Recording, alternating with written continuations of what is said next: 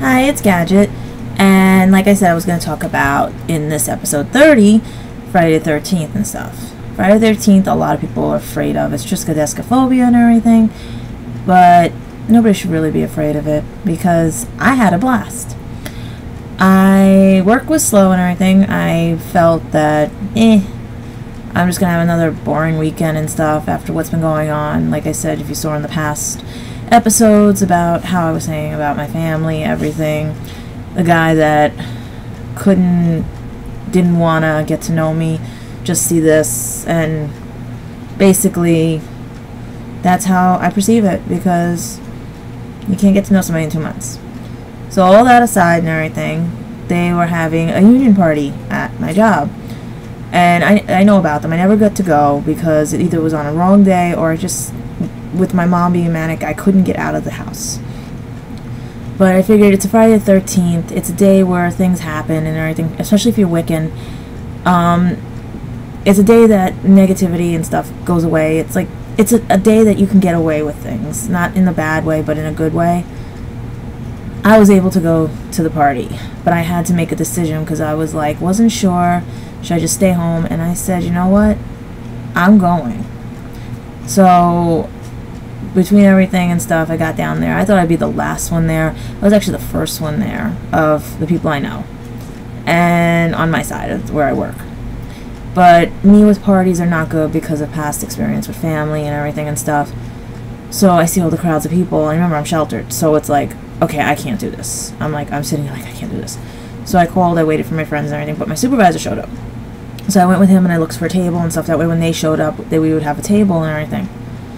So it was an okay night in the beginning because I was still nervous and everything. Wasn't used to being somewhere where it's like I could have fun and stuff and everything. So I didn't know how this worked because I've never been to like a union party or anything. So I saw, oh, it's like a party, it's like a festive thing. They also talk about things and stuff. I was like, cool and everything.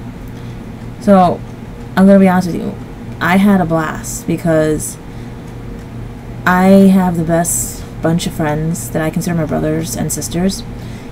They didn't push me. They actually pulled me to go onto the dance floor, but they didn't push me in the sense of they took me, they let me try, and if I couldn't get it, they still let me step aside and then a little bit like something that was a little slower in because remember my knee is still messed up and everything plus I never learned how to dance normal dances and everything as I say normal 80 90 today and stuff I do know a little box step and I do know a little bit of like some 70s dances and stuff and everything how to move to those things but anything that requires hip movements I can't do to save my life they don't move but we had a raffle and everything. I came close. I almost won. It was three numbers off. My number was, and I even have the ticket, was this number here, right? The number they called was uh, 927.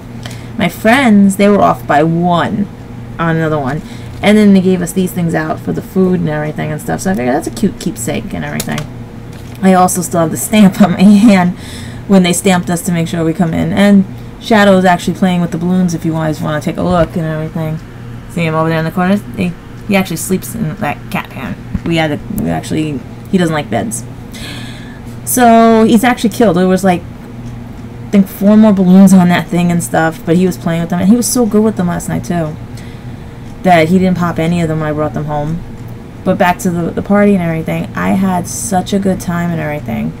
Yeah, I was a little upset that what made me think because they said we could have brought a guest, and I was like, too bad this guy did not get to know me or stick around long enough. He could have had fun there, free food, everything. Got to meet my friends the way I got to meet his friends. But everybody said to me, you know what? It's all in the past. If he didn't choose to get to know you, then he was nothing. And I said, that's right. Even though he perceives me as nothing, just what he perceived me as, he was actually nothing. And that's where I feel sorry for him because they stated to me, they were like, if he really cared about you or wanted to be with you, he'd make an effort.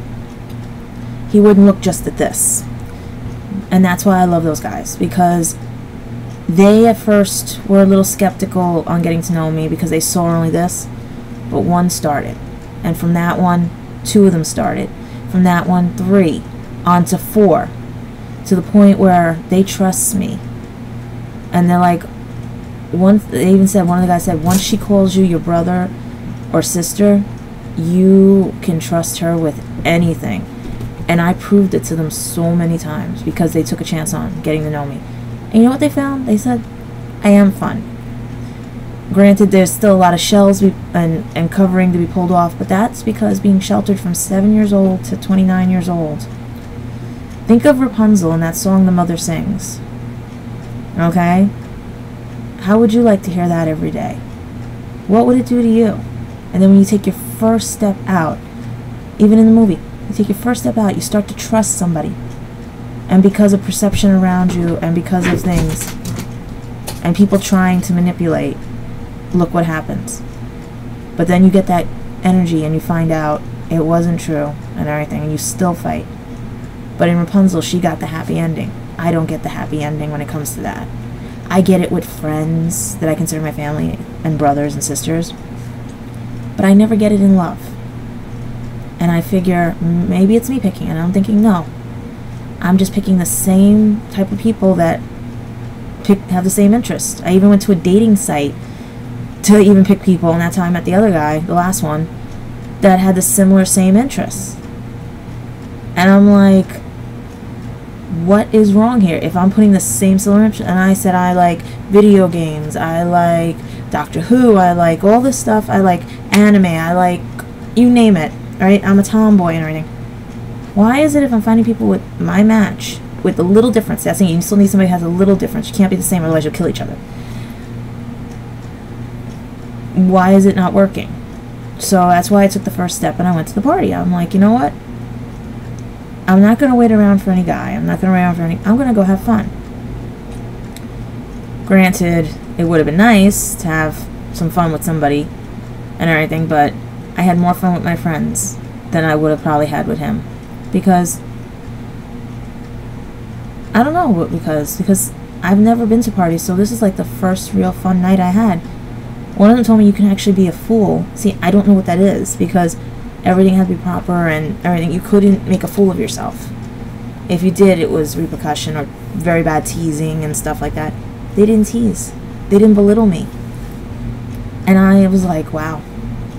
That's why I'm like talking to you guys today because today is the 14th and like I said, for me and my other ones, Friday after Friday 13th is supposed to be my lucky day. Sometimes I win with lotto, sometimes I win with anything. My lucky day today, I'm hoping, is all this negativity gets pushed away from me and more of this positive that I'm finding comes to me. So let's hope and let's see what happens today because, like I said, I have to get ready for school and everything coming up. Hopefully, trying to find uh, something to help supplement the income because I really need my job full time, but there's a job freeze and I can't jeopardize this job, school, or anything. I have to like find something that will pay me, maybe start my own business or something. But you don't have the resources. This is the problem. So I'm gonna leave off with this. Just let you guys know I had the best time ever, and hopefully this will wear off even more and everything. But I'm gonna do it again. I'm going to keep going out. And if my paths cross again with people that I've met in the past or have left me now, oh well, because I'm going to keep going forward while they stay in the back. You know what? Because you keep staying in the back in the past, how are you going to supposed to get forward? Just keep your blinders on. Don't look to the right, don't look to the left, don't look around you. Because I'm doing that. I'm looking around me. Because if I see you, it's hi bye and nice knowing you. Because right now, I'm not stopping. I'm getting on with my life, and just like I said, I had a blast. A really cool blast. And hopefully, today gets even better. I'm gonna do a little cleaning, gonna do a little working on stuff. Shadow actually calmed down. So, fingers crossed. Everything's good. And hopefully today I can tell you maybe something good happened. Alright? But bye for now and have a great time. And Friday the 13th, is nothing to be scared of. Bye.